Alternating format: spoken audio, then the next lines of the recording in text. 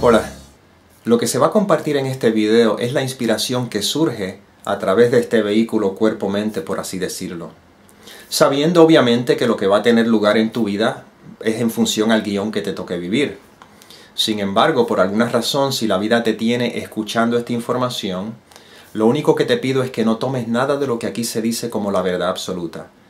Simplemente si algo resuena contigo, bueno, pues si eliges ponerlo en práctica, que sea tu experiencia la que dé testimonio de la validez de lo que aquí se comparte. Habiendo dicho eso, que te disfrutes este video. Hola, te doy la bienvenida a otro episodio de Recordando. El tema de hoy es la pregunta, ¿qué es un maestro? En términos generalizados, cuando hablamos de maestro, hablamos de un individuo que enseña algo, ¿verdad? Pero aquí el término maestro es más bien el principio que te aporta a trascender, que te ayuda a trascender las limitaciones de el falso sentido de individualidad, a trascender la mente. Cuando hablo de el principio, estoy hablando de algo que te ayuda a trascender tus limitaciones, es eso que ya ha trascendido las limitaciones en el mundo de las apariencias puede tomar la forma de un hombre o de una mujer, un individuo que comparte y de alguna forma, debido a que ese individuo ya ha trascendido, ¿verdad? Y cuando digo que ha trascendido, estoy hablando de que ha trascendido el sistema de pensamientos del ego, aun cuando todavía sigue tomando la forma de un individuo. Eso podría ser un Nisargadatta Maharaj, un Ramana Maharshi, un Jesús, un Buda, que aunque tomaron la forma de individuo, de alguna forma, al haber trascendido todas las limitaciones del sistema de pensamientos del ego, entonces te pueden apoyar a trascender las tuyas, ¿tú ves?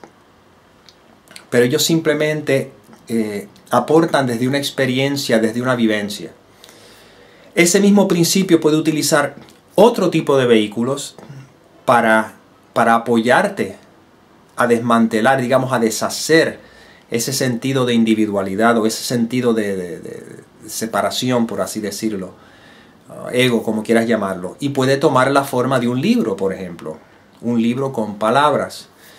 Ese mismo principio puede tomar la forma, que ya este, este caso no sería forma, pero puede tomar la apariencia de un pensamiento, de un recuerdo. Tú ves, ahí viene, ahí, esta es la parte más abstracta.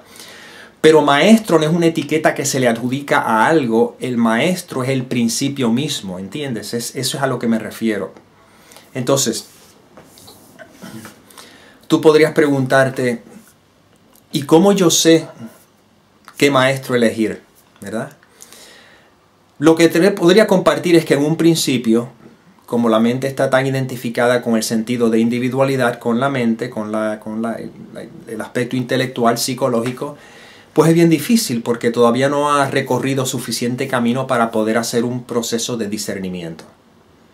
Porque en última instancia, el maestro o el principio de lo que estoy hablando siempre está apuntando regreso hacia ti. ¿Tú ves? Porque tú eres el maestro. Tú eres el principio mismo. Tú eres eso que las palabras no pueden describir. Entonces,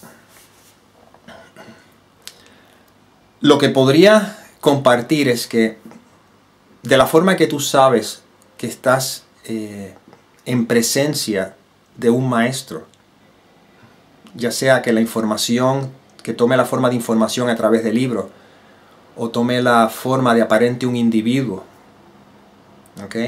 O simplemente una, esa toma de conciencia, ¿verdad? Ese reconocimiento de la forma que tú sabes, ¿verdad? Si estás en presencia de un maestro es porque hay una resonancia intuitiva. Ahora, presta mucha atención, esto es muy importante.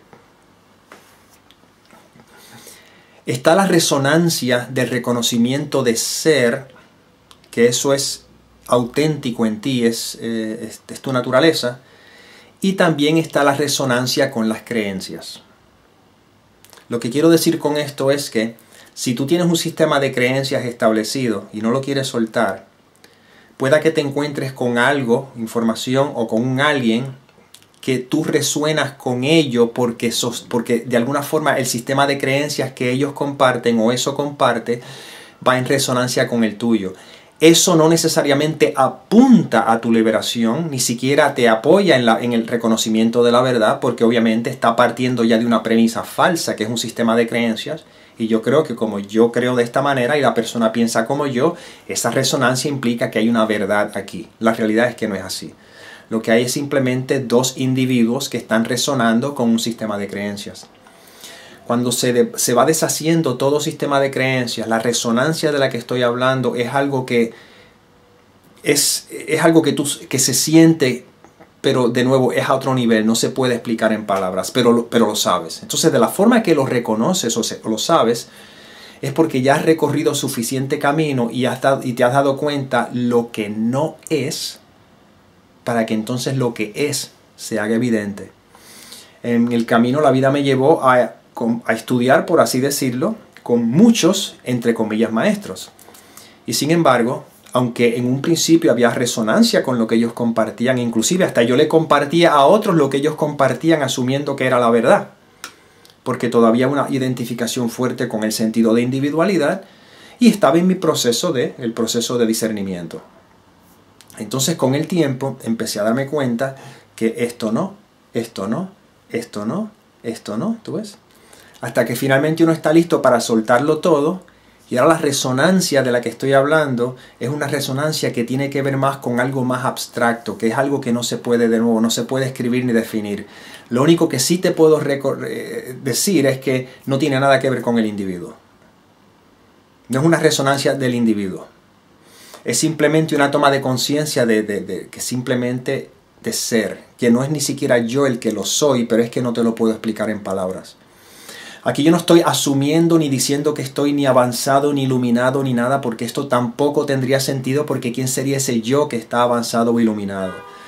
Lo que simplemente estoy compartiendo es que hay un descanso en el reconocimiento de que la vida es un ocurrir que es totalmente impersonal. Ese descanso es a lo que me refiero que cuando yo escucho a un Nisargadatta Maharaj o escucho a Ramana Maharshi o aquello, un curso de milagros, por ejemplo, que apunta en eso, pues tú, hay, hay, algo que sabe, que lo reconoce, que ya se reconoce en ello. ¿Tú ves? El estudiante se reconoce en el maestro. Porque el maestro simplemente estaba apuntando en lo que el estudiante ya es. El maestro es como un espejo en ese sentido que de nuevo, un espejo que está identificado con el sistema de pensamientos de ego o miedo, pues claro, va a servir para reflejar tu sistema de creencias. Pero un espejo completamente limpio, ¿verdad?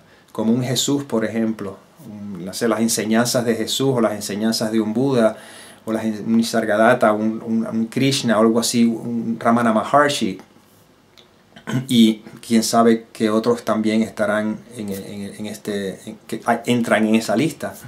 Yo solo te hablo de los que conozco.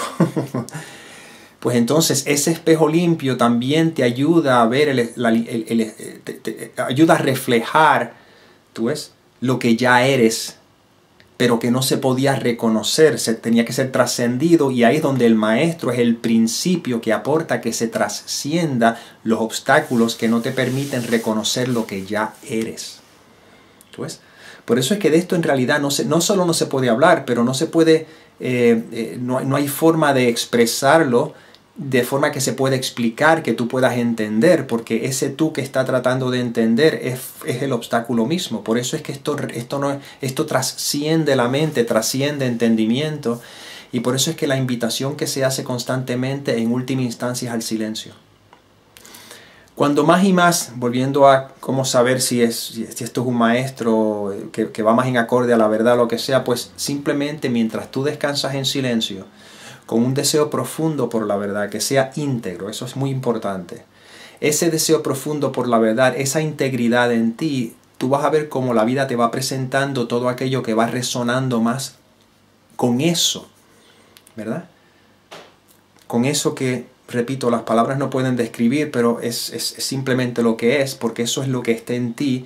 Y entonces ahí es donde podrás darte cuenta cómo lo que se te va presentando aporta a que tú sigas eh, se siga purificando y se siga reconociendo lo que eres. Entonces ahora te das cuenta que quizá, no sé, esto, esto cada cual lo vive como lo tenga que vivir, pero eh, en términos general, en generalizados, a veces uno tiende a, experimentar más tiempo con uno mismo, ¿verdad? Como que uno empieza a eh, estar más tiempo en ese estado, ¿verdad? Solo. No solo que si tienes familia tienes que abandonarla y dejarla, sino que simplemente buscas la manera de estar en, de posicionarte donde hay menos distracción. Se atienden las responsabilidades de la vida, pero simultáneamente, una vez que se atiende la responsabilidad de la vida y te da un espacio, ese espacio es un espacio muy eh, que se atesora para seguir recordando lo que soy. Entonces cuando estás haciendo lo que se tiene que hacer en la vida, utilizas ahora eso también para, para apoyarte en seguir mirando lo que se tenga que mirar de manera que las distracciones se puedan ir disolviendo, se puedan ir deshaciendo. Por lo tanto, aquí en última instancia, el maestro no es un individuo, eh, como digamos yo, tú me dices, ah, si tú crees que lo que yo estoy compartiendo viene de mí como individuo y dices yo soy un maestro, de nuevo, aquí podemos cometer el error de que me estás poniendo a mí en la posición de algo, ¿verdad? Que ahora el estudiante o quien sea cree que tiene que, eh, no sé, seguir o, valorar o lo que sea.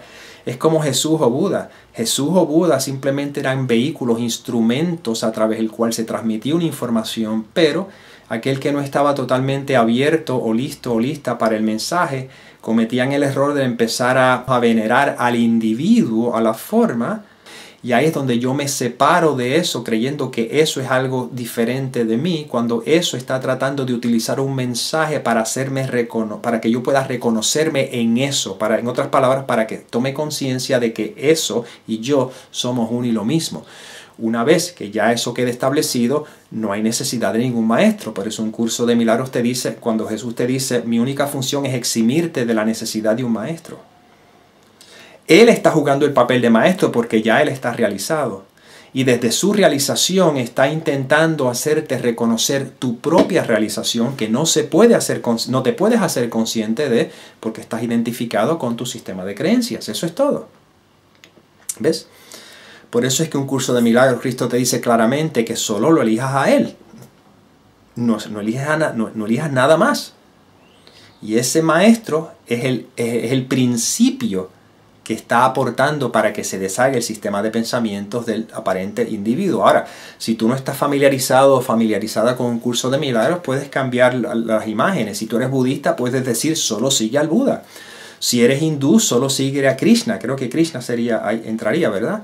Si eres este, bueno, católico, pues solo sigue a Cristo. Pero repito, lo que estás siguiendo es el principio, no estás siguiendo al individuo, la persona. Estás utilizando, eh, la persona o el individuo simplemente se utilizan para que tengas algo con que te puedas relacionar hasta que finalmente no se necesite el individuo porque ahora te estás relacionando contigo mismo o contigo misma a través de la comprensión que surge, que es tu naturaleza. ¿Tú ves? Y aquí es hacia donde esto va apuntando. Ese es el silencio del que estamos apuntando constantemente. Y por eso es que en última instancia no hay nada que hacer. Repito, se utilizan las palabras para ver si de alguna forma se puede desmantelar ¿tú ves? El, el constructo psicológico que se ha forjado para sostener un falso sentido de identidad. Pero eso se va haciendo muy gradualmente, muy amorosamente, ¿verdad? A través de descansando en presencia con un deseo profundo por la verdad. Y el deseo profundo por la verdad no requiere esfuerzo en lo absoluto. Si acaso es simplemente eh, eh, esa, buena, esa, voluntad de, desear la verdad de corazón. Y eso surgirá si toca en el guion. Por lo tanto, yo ni siquiera puedo sentarme aquí y decirte a esto para que tengas la experiencia de la verdad. Solo te puedo decir que si a ti, al igual que a mí, la vida me ha llevado a empezar a recordar eso que soy, porque es lo que ha tocado en mi guion, que te puedo decir, pues entonces este tipo de información nos ayuda a recordar, por eso es que estamos recordando, recordando juntos la naturaleza de lo que somos, de lo que es, que no, es que tú y yo lo somos, no hay, no, no hay tú, no hay yo, simplemente es, la vida simplemente es. Y en ese sentido es que se va descansando en esa, esa presencia, se descansa en paz, que eso no se pone en una lápida, eso es simplemente una forma de ser, una manera de vivir en el mundo que, es, que no es del mundo. Para que entonces uno va poco a poco viendo cómo se desenvuelve la película y no hay un apego psicológico a ella. Entonces se descansa, se, experimenta la, la vida, no se sufre, simplemente se vive. Hasta que en algún momento el soplo de vida deje de tener lugar a través de este organismo cuerpo-mente o de cualquier organismo cuerpo-mente y se desintegra o se disuelve en lo que es, lo que siempre ha sido y lo que siempre será, que eso le conocemos como amor, Dios, esencia, unicidad. Esto lo he compartido antes, eres el cubo de hielo, que te crees que eres hielo, pero en realidad eres agua. Y según se va descansando en presencia, el hielo se va derritiendo en el agua. Y una vez que el hielo queda completamente derretido, ahí es que se hace consciente, repito, no se hace consciente de nada porque ya es, pero es limitación del lenguaje, pero para efectos de este ejemplo, se hace consciente que el agua es lo que siempre fue en todo momento, no tenía que ir a buscarla y nunca estuvo separado de ella. Y ahí es donde apunta la frase de la Biblia, busca primero el reino de Dios y su justicia, o busca primero el reino de los cielos y su justicia, y todo se te dará por añadidura. ¿Por qué? Porque todo forma parte de ti. Y el maestro es aquel que sabe que es agua y que sabe que tú eres agua. Y poco a poco te lleva a que trasciendas las limitaciones que has interpuesto para que juntos se reconozcan como lo que son, como lo que es, como lo que siempre ha sido y como lo que siempre será. Y pues bueno, esta es información que surge a través de este aparente organismo cuerpo-mente. Paz, felicidad es lo que eres. Y ahora me despido recordando que la paz se apodere de la mente para que el amor se extienda a través de todo.